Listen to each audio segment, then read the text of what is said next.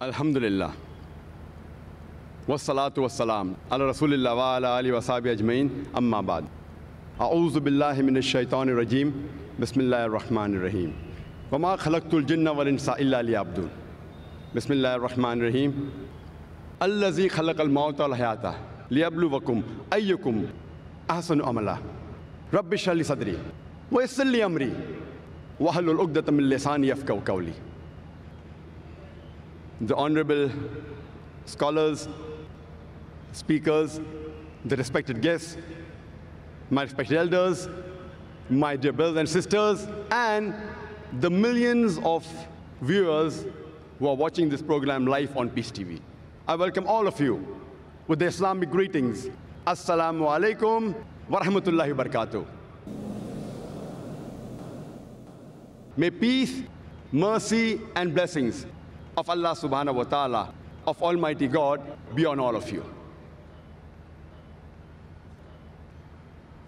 The topic of this last lecture, of the last session, of the last day of the 10 day International Islamic Conference, Peace, the Solution for Humanity, is what is the purpose of our life? How many of us have really ever thought in their life what is the purpose of our life? How many of us have ever thought what is the purpose of our existence? What are we doing here? Why are we here? Let us start analyzing right from here itself. I request all the people in the audience, all of you, if you have ever thought in your life, what is the purpose of your life, please raise your hand. I would like to know amongst the audience, how many of you have ever thought in your life, what is the purpose of your life?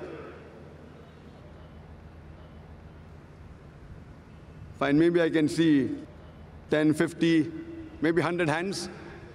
An audience of more than 100,000. That is less than 0.1%. Some may have felt shy to raise their hand. So surely I can say less than 1% of the human beings have ever thought in their life what is the purpose of our life. Is it required that should we know what is the purpose of our life? To help you, let me give you an example. Once a man, when he was traveling, and when he came at a crossroad, he asked the passerby, Where does this road lead to? The passerby asked him, Where do you want to go? The man replied, Anywhere. The passerby answered, Then take any road, it will make no difference. Imagine that traveler, he had no goal. Whatever actions he did, whatever deeds he did, it made no difference because he wanted to go anywhere. And many of us are leading our life in the same way. Let me give you one more example. Imagine there is a builder who starts constructing his building and he lays the foundation and he digs a big hole for the foundation. And when you ask him, how many stories is your building going to be? He says, I don't know. How many square feet is the built up area? He says, I haven't thought of it. The builder has got no goal at all. Once there was a man who told his neighbor, Your dog always chases vehicles and cars. I wonder, will your dog ever catch up with any car? The neighbor replied, I don't wonder whether he'll catch up or not. I wonder if my dog catches up with the car, what will he do? The man who asked him, Will the dog ever catch up with the car? He's short sighted. The neighbor who was the owner of the dog, he was far sighted. Even if he caught up with the car, what will he do? What is the purpose of his goal? And unfortunately, many of us, we are leading our lives same fashion, just like the dogs. You know, people do graduation, and you ask them, why are you doing graduation? And they don't know the reason. Just because they want to be a graduate. What will you do after you finish your graduation? I haven't thought of it yet.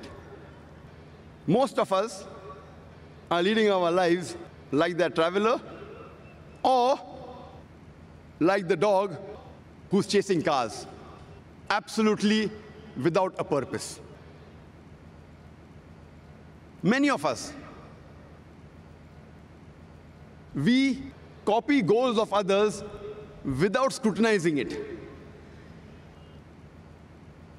When we ask a student, why are you doing commerce? So he will reply, because my friend is doing commerce.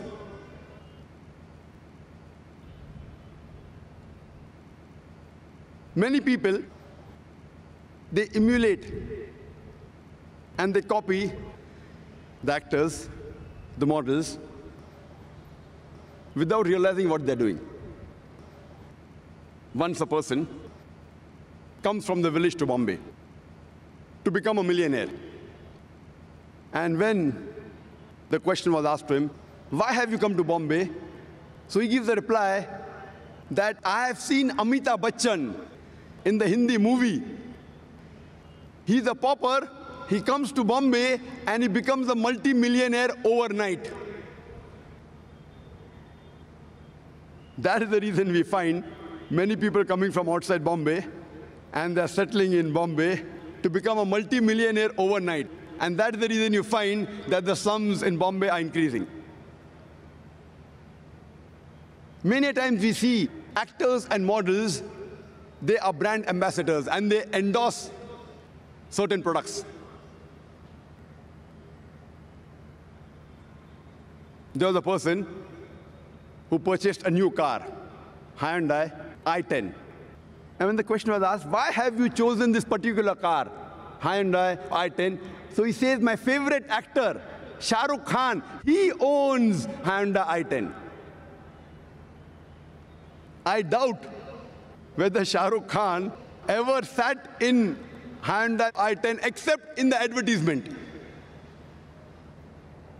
He may be owning a Mercedes or a BMW or somewhat similar.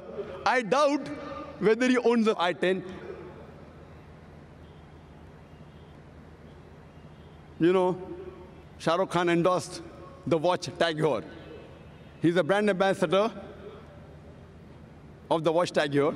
And we find many of his fans buying Tag Heuer. I wonder what has Tag Heuer got to do with the acting of Shah Rukh Khan? Has that watch, has that wristwatch ever helped him in acting? I doubt whether he wore Tag Heuer before he became a famous actor also. So these are the various ways the media promotes products. And unfortunately, we blindly follow goals of other people without realizing what we are doing. Imagine there's an industrialist who buys a textile factory. And when asked, why have you bought the textile factory? He tells us that I've come to know that there is good profit in textile business. Then you ask the next question. Do you have a feasibility report? He says, no. Have you had someone to take care of your business? Have you hired a CEO, chief executive officer? He says, no. What is the percentage of profit you will make? He says, I don't know. Where will you buy the raw materials for? He says, I haven't thought of it. Where will you sell your textile? He says, I don't know. Do you think that businessman will make profit in the textile industry? Imagine there's a person who has a goal. He wants to become the best scientist of the world. What does he do? He does a survey of all the scientists from the first human being, Adam, peace be upon him, till today. And after doing a survey, he comes to know the best scientist of human history was Isaac Newton. And his survey was correct. After that, what does he do? To become like Isaac Newton, he starts growing long hair, curly hair like Isaac Newton. He wears shoes like Isaac Newton. He wears clothes like Isaac Newton. Do you think he will become a successful scientist? Such people have a goal, but the planning is wrong. They have a planning, they did a survey of the scientists, but the planning is wrong.